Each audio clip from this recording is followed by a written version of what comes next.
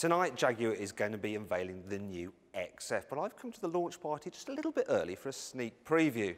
Now, I've always wanted to do this, so ladies and gentlemen, I give you the new Jaguar XF. It's packed with the latest technology, promises class-leading economy and handling, and is more spacious inside despite being shorter and lower than before. This new car is more aerodynamic than its predecessor, but it's instantly recognisable as a Jaguar. Now, you've got this classic Jaguar bulge in the bonnet, which I think first appeared on an, an XJ back in 1968. You've got the current Jaguar grille. This car has LED headlamps, but you can get it with xenons. And this is the S model, so it has bigger vents down here to give it a nice aggressive look.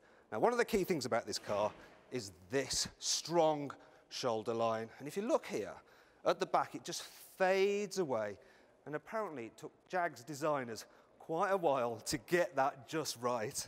Now at the back, it's finished off with some tail lamps, which are like that from the F-Type and the XE. Despite a coupe-like profile, at 540 litres, the XF's boot is bigger than that of an E-Class or a 5 Series. The opening is wide and there's virtually no boot lip to make loading easier.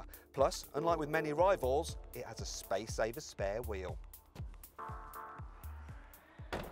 Now the big news for the XF is here in the back seat. You have about that much more leg room and that much more headroom than the old car, which it doesn't seem like much, does it? But from where I'm sitting, it makes a massive difference.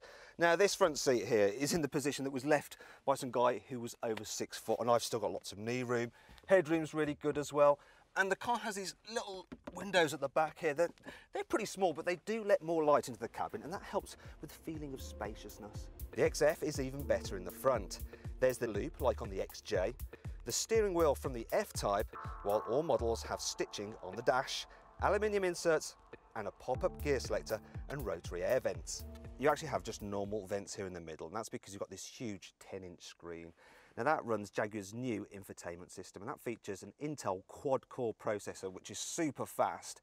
The system also uses Ethernet connectivity to connect to all the car's systems, so you get 10 times quicker data transfer than in the old XF, and, and that helps improve things like the audio quality. The XF is also the first model to get Jaguar's new InControl Pro, which allows you to control various apps from the car and integrates them with things such as the sat-nav like never before. There's also a 12-inch TFT screen for the driver, though lesser models just get normal analog dials. You'll be able to get the XF with two petrol engines, including the supercharged V6 from the F-Type. There'll also be two diesels, the most important of which is this 2-litre Ingenium. Now, it should be able to return over 71 miles per gallon, and it emits just 104 grams per kilometre of carbon dioxide. It's a very light engine as well. In fact, the XF is all about lightness. For instance, this gearbox, this six-speed manual, weighs just 45 kilograms. So in theory, I should be able to shoulder press it. So, yeah, it's probably a bit heavier with, with this plinth attached. In total, the new XF is up to 190 kilograms lighter than its predecessor. Once again, it's made out of aluminium, but the body is 11% lighter than before and 28% stiffer. Now this should help improve the handling, and so should the fact you've got double wishbone suspension here at the front Meanwhile, at the back, the XF uses something called integral link suspension. And what that does, it improves the rigidity in forward and sideways movement, but it also makes it more supple in the up and down movement. So that should make the car feel nice and precise, yet nice and comfy as well.